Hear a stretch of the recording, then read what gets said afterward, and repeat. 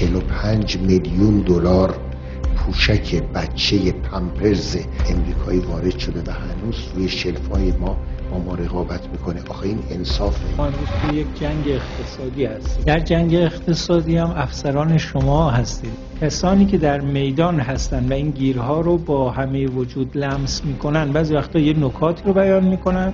هیچ هزینه ای نداره. در تولید انواع محصولات پوشک بچه پوشک بزرگسال و نوار بانوانم همین الان که خدمتون هستیم مجموعه تولید کنندگان ضربیتی قریب نزدیک به 190 هزار تن بالقوه دارن. مواد اولیه کارخانجات سلولوزی حدودا شد سه برابر.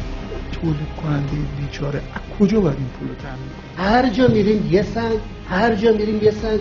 این مدیر جواب اونو نمیده اون مدیر یه حرفی رو رد می‌کنه میریم پیشی خواهش می‌کنم. اگر مجوز بهمون دادی مثل آقا بذار بیاریم مواد سلولوزی 100 درصدش وارداتیه. یعنی تیشویی که ما تهیه می‌کنیم به دلیل شرایط جغرافیایی که تو کشور ما نیست امکانش اگر باشه فقط تو خوزستان هست اونم نه برای کل این محصول. همین کاغذ. خب این رو بالاخره حتی ما باید به سمت بریم که مثلا این چگونه می‌توانیم در این خودکفا بشیم.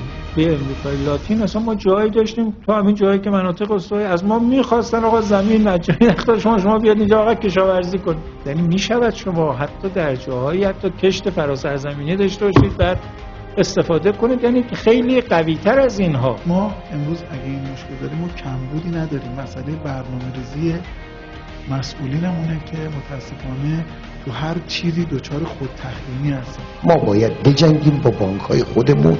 که اونها بپذیرن که حوالجات ما رو عملی کنه چون میترسن ما پنج تا بانک داریم الان خودشون دچار خود تحریمی هستن. مثلا اومدیم ثبت سفارش کردیم. بالاترین شرکت ما نفر دوم بوده. خیلی جالبه. بعد یه شرکتی که هیچ کس نمی‌شناسه. ما تو جلسه آقای دکتر شهرت مدنی اینو گفتیم. تو جلسه سازمان هم گفتیم. بعد رسما هم این اطلاعات اعلام شده. بعد مثلا ما برای 200 هزار 300 هزار دلار ثبت سفارشمون ختم می‌کنیم. هر سنفی اختیارات رو بدید به تشکل اتحادی انجمن اونجا. آقا ما الان تا 99 درصد تمام سنف رو می‌شناسیم. اصلا بخش خصوصی آدم حساب نمی‌کنن.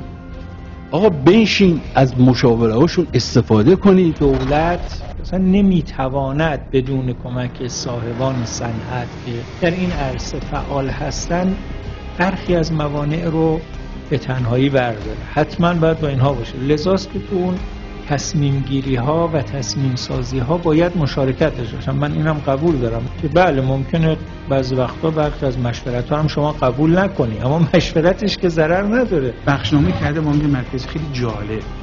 یعنی هر چی بیشتر صادر کنی بیشتر باید بدی. یعنی ما صادرات عملا داریم از بین میره این بازار ایران پتانسیل بزرگی صادرات. اتحادیه اروپا که الان این همه شما منتظرشید این کار بکنن این کار بکند. کل صادرات ما به اتحادیه اروپا 28 کشور اتحادیه اروپا که 28 کشور هستن کمتر از صادرات ما به افغانستان.